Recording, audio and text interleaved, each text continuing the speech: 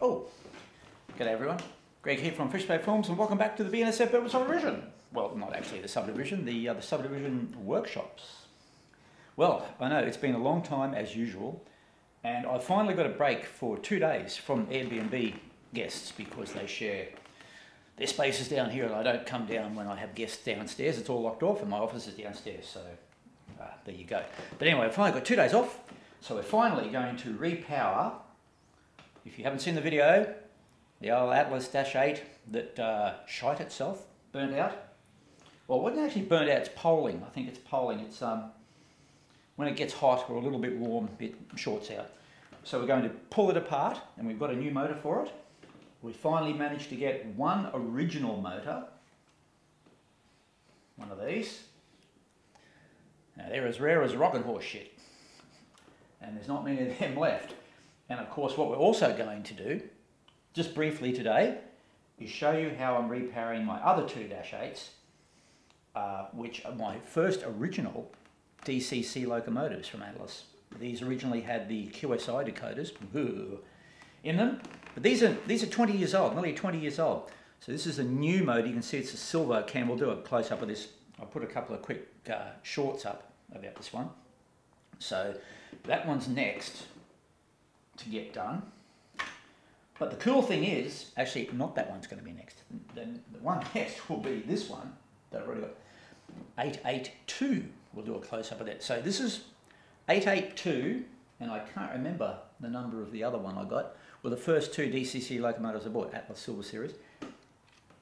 Fast forward 15 years, and I buy another one. 881. So it's going to be really cool to have 881 and 882 running on a train. So that's why I put the new motor in this one. I will be putting the new motor in this one. And I'll do the modifications on the other one. Oh, where are we? On 882. This old girl's done some miles. You can see it's got the Tsunami decoder, the original Tsunami decoder.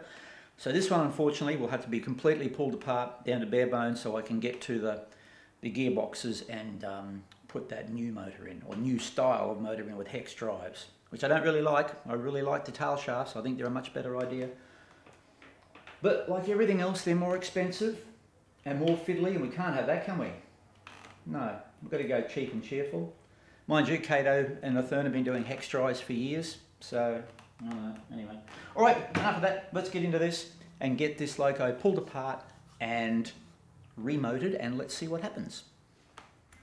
So in this video we will be replacing the original Atlas motor with the same model. These are very hard to get and I was lucky to get this one. After removing the couple of boxes, carefully pry the body shell off the chassis.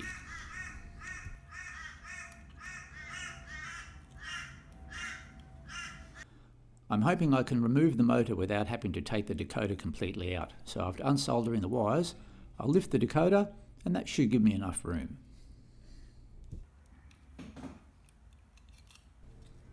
Carefully remove the fuel tank shells. Now they slide out from each side and take note of which side they go on because they are not interchangeable. Next step, unscrew the motor. These screws were quite tight so be careful you don't damage the screws. The next thing was to separate the tail shaft from the yoke coming out of the motor. A small screwdriver and gently lever it out and that should come apart.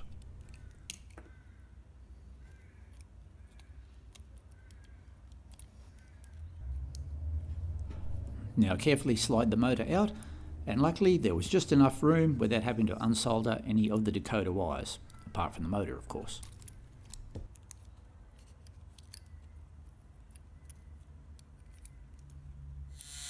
So the old motor going there, you can see it's drawing almost half an amp. That's 450 milliamps there.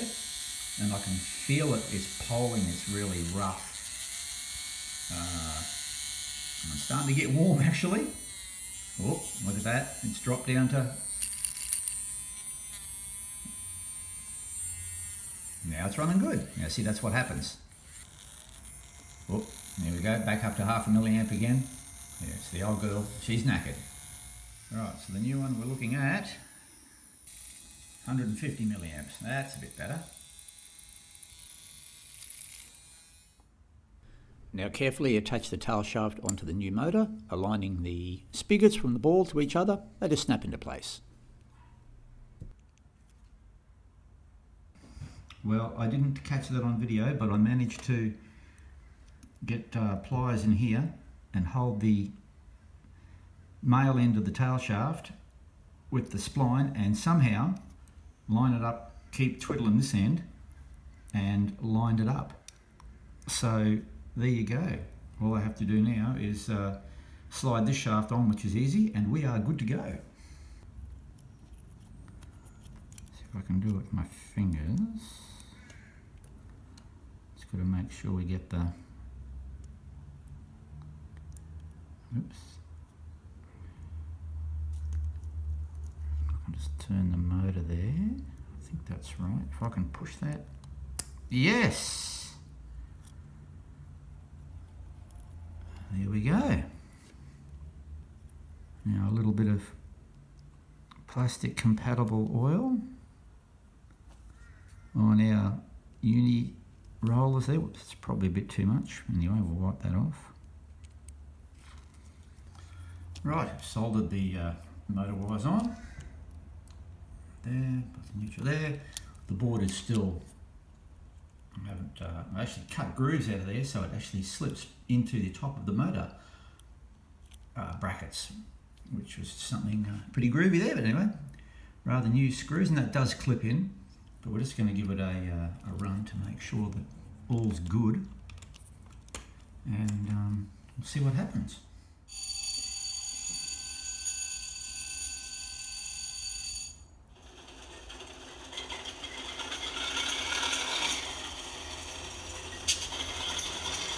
Whoa.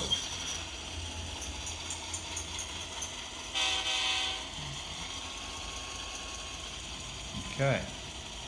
That's positive.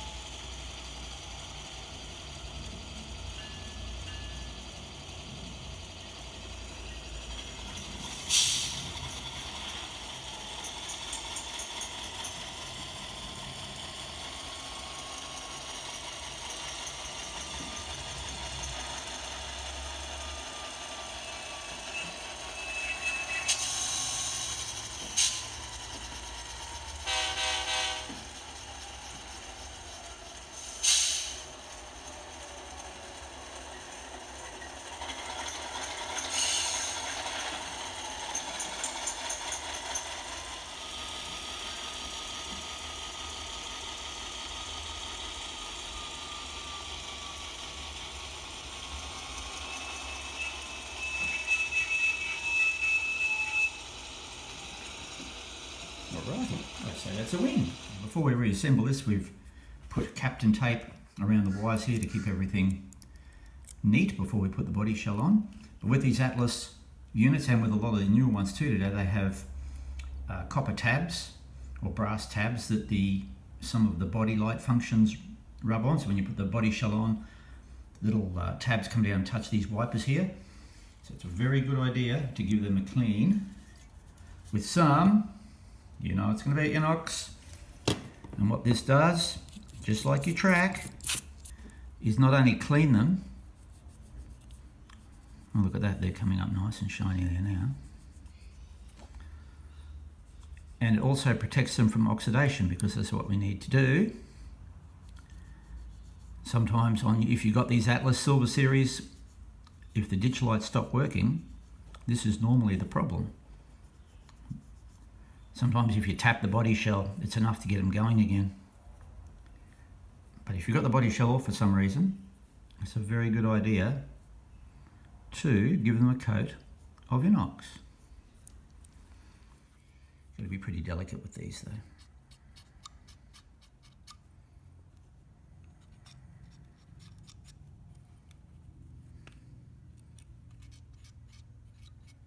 There we go.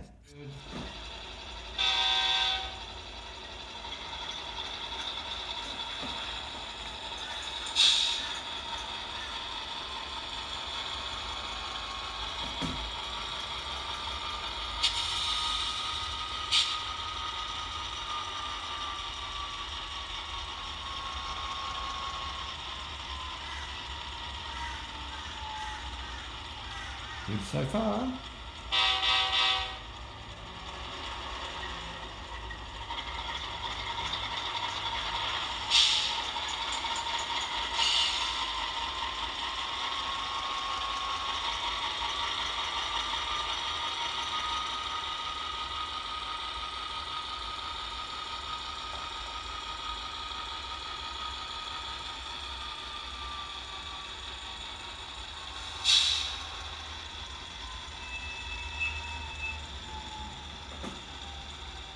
Okay, we put the fuel tanks back on. What I've done, I've written in the fuel tank when I put the new motor in. So I'll see how long this one lasts. This one hasn't done that long. The uh, original hasn't done a lot of miles at all. But anyway, we'll see how it goes.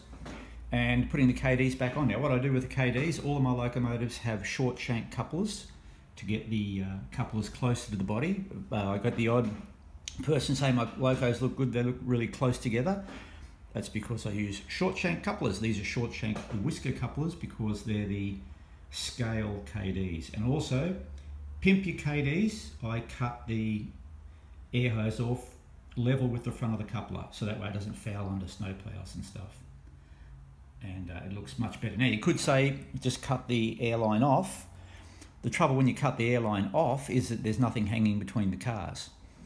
Uh, so for me, I think this looks a little bit better than having air hoses dangling they're not connected. It's one of those things we have to compromise with. Anyway, but we'll, we'll chuck this in and we'll take it up the layout and uh, give it a run in.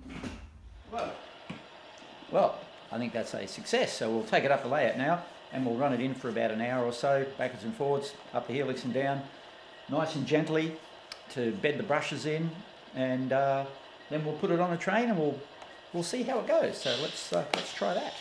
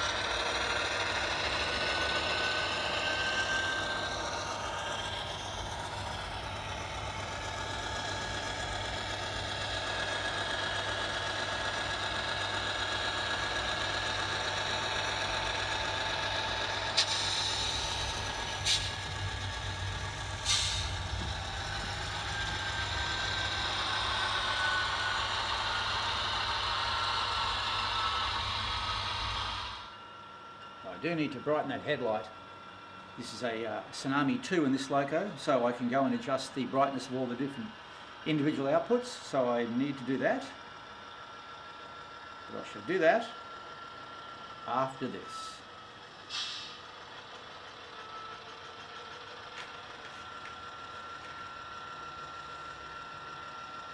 Does run very nice, like the uh, like I did previously.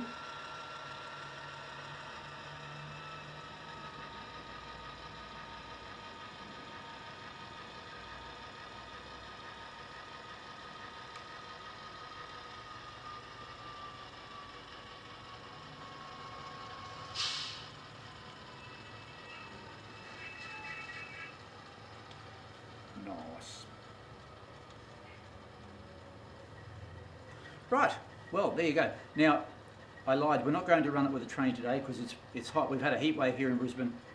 Uh, many, many days, 36, 37, and still being over 30 degrees Celsius at night time. So uh, it's been shocking. So uh, I don't want to be in the shed for too much longer. It's about 32 today. So I don't want to run the risk of uh, getting this overheated running a train with it today. So uh, I have a friend coming down, good, uh, good friend of mine, James, coming down. We're going to run some trains on or next week. So we'll uh, run this one on a train after it's running. We'll run it in for a bit more today uh, when it gets a bit cooler. And we'll put it on a train for this operating session that we're having in uh, about a week's time. So that'll be coming up in a couple of weeks. So, you know, so thank you for that. The other Dash 8s will be continued to be worked on when I get time and I'll be back on the layout hopefully within, you know, a month or so. So thanks for watching and we'll see you back at the Birdwood site very, very soon. Thanks for watching, my down. Bye-bye. Hooroo.